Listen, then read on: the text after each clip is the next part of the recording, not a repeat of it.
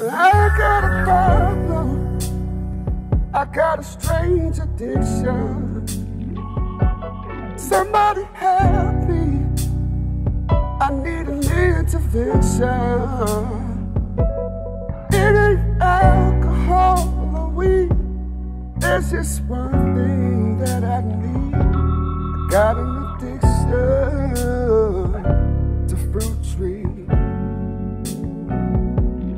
Got an addiction to fruit trees. I take a persimmon to breathe. Hey, the next one I'm getting jujube. Got an addiction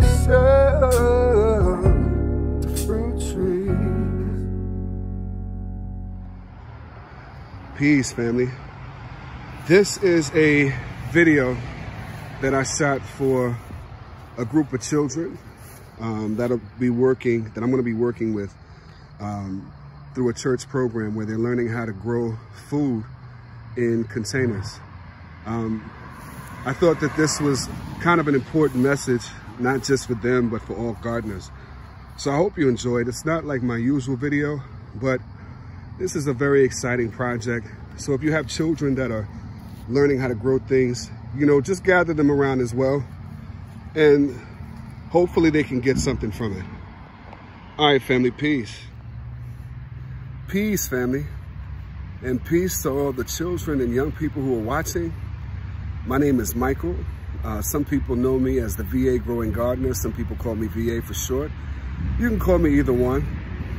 I wanted to talk to you today because I was very excited to hear that you all would be learning how to plant and grow your own food. That's a wonderful thing to do. Uh, so I wanted to take a minute just to talk to you real quick about how important gardening is.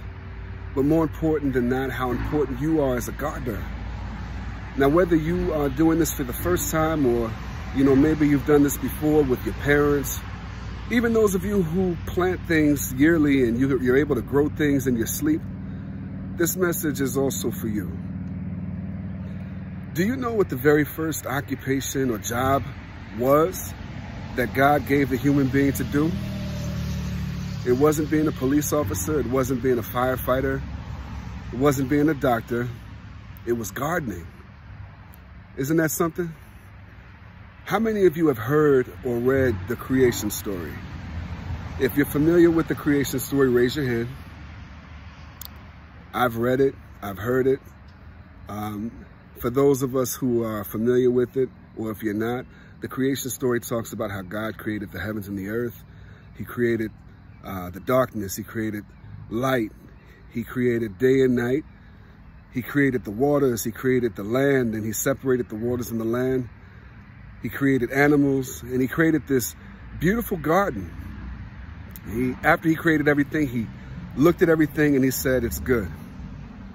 But he took a close look at the garden that he created and he said, well, there's nobody here that is able to take care of it.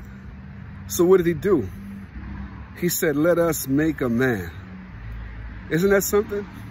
Out of everything that God created, he looked at that garden that he loved and he decided to make a man to take care of that garden. So not only did he make a man, now let me pause for a minute. When I say man, I'm going to say human being instead of that.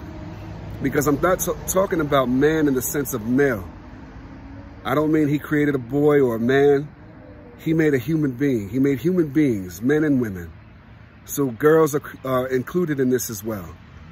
But not only did he make a human being to take care of that garden that he loved, he made a human being that was like him. You know, it says in the book that he made a human being that was in his image and likeness. That doesn't mean that he just looked like God. That means that he had the potential to be a miniature version of God.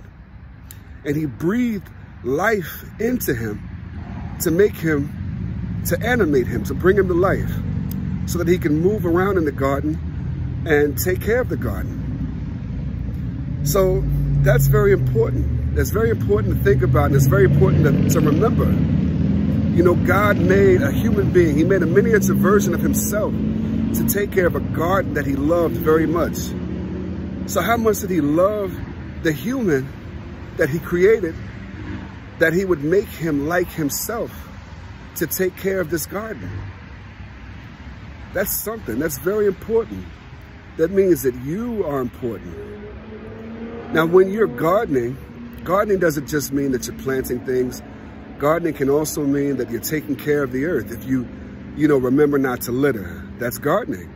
If you pick up trash when you see it, that's gardening.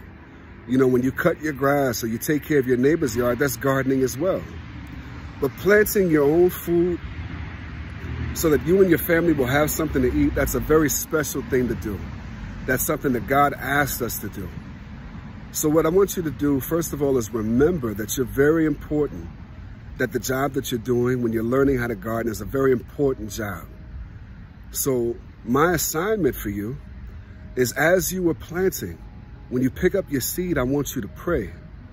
I want you to pray that God will bless the seed, that he'll bless the soil, that he'll even bless your container or your pot, or even the ground that you're using to plant that seed in. I want you to thank him for the water that nourishes that seed. Thank him for the sun that gives that seed and that gives the human being vitamins that you can't really get out of a capsule. Always pray when you plant your food, when you plant your seed, pray for it. And as it grows, continue to pray for it. And ask him to bless you in your obedience. When you're planting and you're gardening, that's obedience to God himself. So I want you to remember to do that. And as you watch your seed become a healthy plant, just continue to thank him for blessing you. And every time you plant something, every time you pick up a piece of litter, I want you to ask him to bless your efforts, to bless your obedience, and to bless the earth and the garden that he gave us to take care of. Thank you for doing this. Thank you for listening. And I'm really looking forward to us working together. And if you have any questions, I'll do my best to answer them all for you. Thank you. God bless and peace.